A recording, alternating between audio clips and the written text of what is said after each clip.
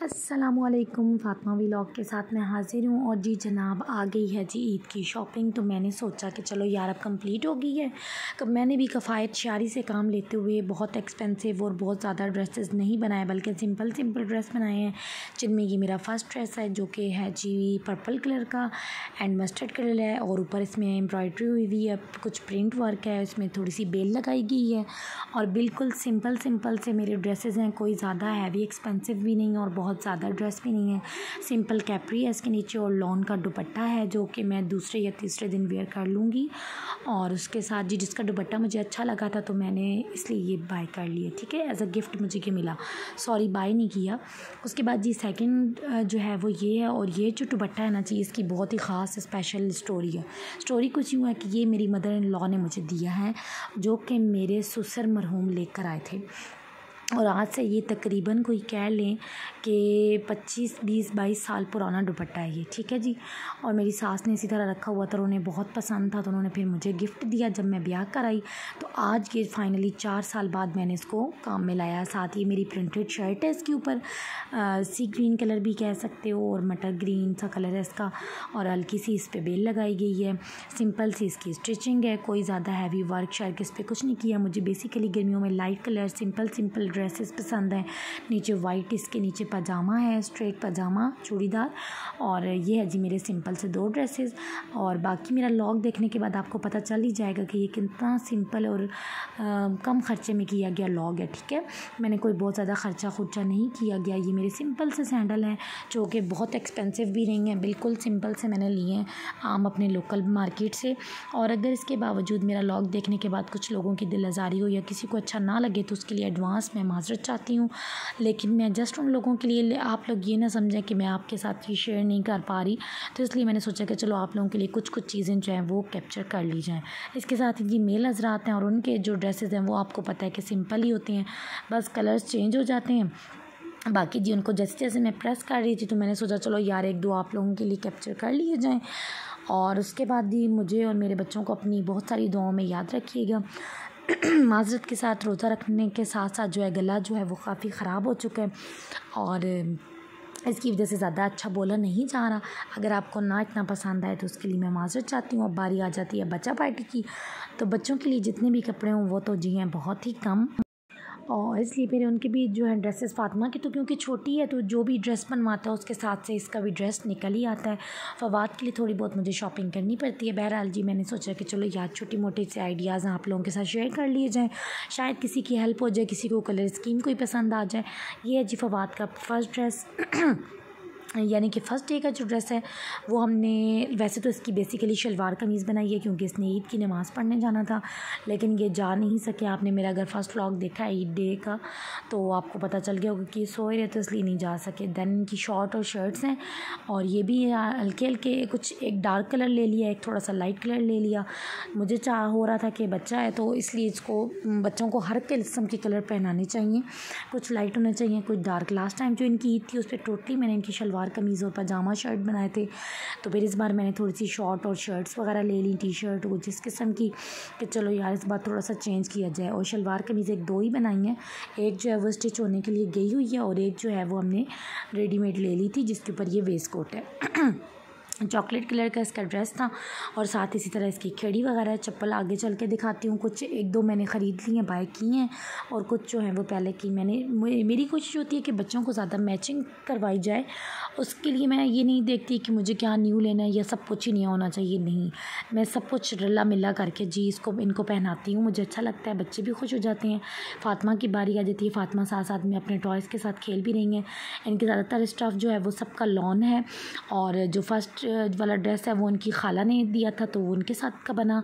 ये जो है, मेरी दादों ने दिया है तो मैं आपको साथ साथ हिस्ट्री भी बताती जाती हूँ। आप लोग ये ना समझें कि मैं बहुत ही शाह खर्च हूँ फजूल खर्च किस्म की औरत हूँ। ऐसा बिल्कुल भी नहीं है। बच्चों के ड्रेसेस मुझे थोड़ा बहुत अब हुआ कि बहुत ज़्यादा एक्सपेंसिव नहीं लेने चाहिए, क्योंकि माशाल्लाह माशाल्लाह बच्चे हर साल जो है थोड़ी थोड़ी ग्रोथ पकड़ रहे होते हैं तो पिछले जो ड्रेसेस होते हैं, वो उनको छोटे हो जाते हैं। तो इसलिए मैं चाह रही होती हूँ कि चलो यार, हर साल न्यू आ जाए। ये इनकी फुप्पो ने इनको गिफ्ट किया है, फातमा ने, और ये बहुत ज़बरदस्त ज़बरदस्त सूट है यार, मुझे बहुत पसंद आया क्योंकि उन्होंने बहुत मेहनत के साथ ख़ुद बनाया इसको टोटली उनका हैंड वर्क है। बहुत मेहनत की उन्होंने थैंक यू सो मच आप सबका जिन्होंने ये स्टिच किए, उन सब का भी बहुत शुक्रिया। रोज़े के साथ स्टिच करना बहुत मुश्किल काम है, मैं समझ सकती हूँ, लेकिन आप सबने इतनी मोहब्बत के साथ बना के दी है फ़ातिमा की दादों ने बना कर दिया है, जो कि मेरी खाला सास हैं। और ये बहुत ज़बरदस्त फ़्रॉक था और इसके नीचे उन्होंने पटियाला शलवार टाइप बना कर दी, जो कि मुझे बहुत पसंद आई। इसके सारा टोटली बॉर्डर है। Bottle green and shocking pink colour का ये फ़्रॉक है। जैसे जैसे फ़ातिमा वेयर करेगी तो मैं आप लोगों के साथ शेयर करती जाऊँगी। दैन जी, ये जो ड्रेस है, ये भी मेरी दादी अम्मा की तरफ़ से आया था। उन्होंने अपना बनवाया तो साथ में फ़ातिमा का भी भिजवा दिया। और ये जी, हमारी कज़न है, उन्होंने स्टिच किया। मुझे बहुत अच्छा लगा यार। आप सबका बहुत बहुत शुक्रिया। मैं जितना भी शुक्रिया अदा करूँ, बहुत कम है। आप सबने इतनी प्यार और मोहब्बत के साथ फ़ातिमा के ड्रेसेस बना के दिए। ये कैपरी भी इन्होंने बना कर दी। और मुझे बहुत अच्छा लगा। फ़ातिमा को भी बहुत खुश हो रही थी, बहुत एक्साइटेड हो रही थी। ये तमाम अपने ड्रेसेस देख के बच्चों को बहुत पसंद आते हैं। ये ड्रेस जी फ़ातिमा के नाना अबू लेकर आए हैं और थैंक यू सो मच अल्लाह ताला का, अल्लाह ताला आपको सेहत और ज़िंदगी दे, आपका साया हमारे सर पर सलामत रखे। और बहुत मज़े का था ये ड्रेस भी, मुझे अच्छा लगा वाइट कलर बेसिकली बच्चों को पहनाना चाहिए, हर किस्म के कलर मैं समझती हूँ कि पहनाने चाहिए। मुझे कोई इशू नहीं होता कि ये कलर नहीं सूट करेगा, यार ये नहीं करेगा। मुझे सब कलर अच्छे लगते हैं बच्चों पर और बेसिकली वो सूट भी कर देते हैं। ये फाइनली वो ड्रेस है जो बाबा और मामा की तरफ़ से फ़ातिमा के लिए लाया गया। इसका भी बहुत ज़बरदस्त सा प्रिंट था छोटे छोटे इसके ऊपर फूल हैं और बहुत ज़बरदस्त ठंडा ठंडा सा इसका कलर है। स्टफ़ भी बहुत मज़े का था तो इसलिए हम लोगों ने ये बाई किया फ़ातिमा लोगों, फ़ातिमा के लिए। फ़ादी की जो ड्रेस हैं, उनमें से एक उनके नाना बूल लाए थे, बल्कि दो नाना बूल लाए थे, शलवार कमीज़ और एक रेड वाला शर्ट वाला। और जो दूसरा ड्रेस था, वो हम लोगों ने बाय किया था। और साथ ही इनके कुछ कैपरी वगैरह भी मैंने स्टिच करवा दिए दो तीन तरह के, ताकि जो जो ये फ़्रॉक वेयर करें, उनके नीचे वो काम आ जाएँ। वाइट इनके कैपरी रह गए हैं तो वो इन फिर ईद के बाद, क्योंकि टाइम की कमी थी तो बस ये इतना ही हो सका मुझसे। क्योंकि घर का काम काज भी होता था और रोज़ा वगैरह भी होता था। साथ ही फवाद के जो स्टिच होने के लिए ड्रेस दिया हुआ था, ये इनके मामू ने इनको गिफ्ट किया। तो ये भी स्टिच होके अभी अभी आया बिल्कुल और मैंने आप लोगों के लिए कैप्चर कर लिया इसको। प्रेस वगैरह में जो अभी करना है तो ये मैं बाद में करूँगी। थैंक यू सो मच आप सबका। अगेन आप लोगों ने मेरे बच्चों के लिए इतना सब कुछ किया, इनको याद रखा। यही छोटी छोटी मोहब्बतें, चाहते होती हैं, जो इंसान साथ लेकर पलता है, बड़ा होता है और उसको याद रहती हैं। अब बारी आ जाती है मेरी बेटी की ख़ास इंपॉर्टेंट चीज़ की, जो कि उसकी एसेसरी जो कि नामुमकिन है, ठीक है जी? और अगर ना हो तो बस मेरी बेटी का मूड ख़राब हो जाना है। तो फिर मैंने जी ये ऑनलाइन बाई की हैं बिकॉज़ रोज़े के साथ मेरे लिए जाना बहुत बहुत इम्पॉसिबल था। मुझे बहुत वीकनेस थकावट हो रही थी। तो ये उनके लिए और उनकी कज़न के लिए मैंने कुछ चीज़ें मंगवा ली हैं। तो मैंने सोचा कि चलो यार आप लोगों के साथ शेयर कर ली जाएँ। मेन हम ख़वातीन के लिए तो यही चीज़ें इंपॉर्टेंट होती हैं अपनी बेटियों के लिए। बेटों की क्या शॉपिंग है? यार, बस जस्ट उनकी घड़ी ली और चश्मा लिया और बस उनकी खेड़ी वगैरह ले ली और ड्रेस उनका रेडी हो गया। जो कि फवाद के लिए ऑलरेडी हमने बाइक कर लिया था। उसका चश्मा भी और उसकी घड़ी उसकी पुप्पो की लेकर आई थी। अच्छा दो दो पिंस मैंने सेम सेम ही मंगवाने की ज़्यादातर तो कोशिश की है ताकि एक एक चीज़ फातमा रख ले और एक एक उसकी कज़न को दे दी जाए। तो बच्चियाँ खुश हो जाती हैं। बच्चियों के लिए यही तो सबसे ज़्यादा मज़े की चीज़ होती है। और उन्हें बहुत अच्छा लगता है तो ये मैंने ऑनलाइन ली और थैंक यू सो मच जिस पेज से मैंने ली थी, वो पेज मुझे इस वक्त भूल चुका है। और जब याद आया तो मैं आप लोगों के साथ ज़रूर शेयर करूँगी। इनकी प्रोडक्ट बहुत अच्छी थी, बहुत ज़बरदस्त थी और मुझे बहुत अच्छी लगी। मैंने फ़ातिमा के लिए बाय कर ली हैं। साथ साथ कुछ इनकी पिंस हैं, कुछ बो टाइप पिंस थी और कुछ इस तरह की मेटल पिंस थी, जो कि मुझे अच्छी लगी थी। तो सब कुछ अलहमदिल्ला बहुत अच्छा आ गया। उसके बाद जी कुछ ऐसी चीज़ें थी जो फातिमा को एज़ अ गिफ्ट ईदी मिली। तो मैंने सोचा कि चलो यार वन बाय वन वो भी आपके साथ शेयर कर ली जाए, ताकि आप लोग ये ना कहें कि मैं बहुत फ़जूल किस्म, खर्च किस्म की माँ हूँ जो कि सारा पैसा बेटी पर ही लगा दिया। ऐसी कोई बात नहीं है, बच्चियों के लिए भी सब कुछ लिया है, बेटे के लिए भी लिया लेकिन बेटे के लिए और मुझे कुछ समझ में नहीं आ रहा था कि मैं उसके लिए क्या बाय करूँ, ठीक है? ये फातिमा का क्लच था जो कि उनकी पुप्पो उनके लिए लेकर आई थी और इसमें बड़े मज़े मज़े के उनके नेल पेंट्स थे जो कि बहुत ज़बरदस्त थे। वो भी मैंने शायद आप लोगों के लिए कैप्चर करना भूल गई हूँ। चलें, कोई नहीं, इंशाल्लाह नेक्स्ट व्लॉग में आप लोगों के साथ शेयर कर दूँगी। और ये फ़ातिमा की वॉच और फवाद की वॉच ये भी उनकी पुप्पो ही उनके लिए एज़ ईदी लेकर आई हैं। Thank you so much Fadi और फ़ातिमा को बहुत पसंद आई, बहुत एक्साइटेड हुए वो। इससे पहले तो वो छोटे थे तो लास्ट टाइम मैं उनके लिए इस तरह की वॉच वगैरह नहीं लाई थी। ये फ़ातिमा के लिए आई हैं। उसके बाद बारी आती है जी नेक्स्ट और इस वक्त आप यकीन करें कि फ़ातिमा को मैंने सुलाया है तो मैं आप लोगों के लिए कैप्चर कर रही हूँ। जब से ये चीज़ें आई हैं, फ़ातिमा इनको लिए लिए फिर रही हैं सारे घर में। हर इंसान को दिखाई गई हैं, ये जी आ गई है नेक्स्ट शॉपिंग ये भी फ़ातिमा की ईदी आई है। फ़ातिमा की दादों की तरफ़ से, यानी कि मेरी मामी सास की तरफ़ से, ठीक है? मुमानी सास। थैंक यू सो मच इसमें भी कुछ पिंस वगैरह थी। बहुत ही मज़े मज़े की कलरफुल जो कि फ़ातिमा को देख कर बहुत ही फ़ातिमा एक्साइटेड हुई कि मामा अभी मुझे लगाई जाए। मैंने कहा, यार, इतनी सारी एकदम कैसे वेयर करोगी? तो आपके जैसे जैसे मैं आपको ड्रेस वेयर करवाऊँगी तो साथ साथ मैं आपके साथ ये भी वेयर करती जाऊँगी, फिर आपको बहुत अच्छा लगेगा। तब जाके कहीं, यार, मेरी जान छूटी।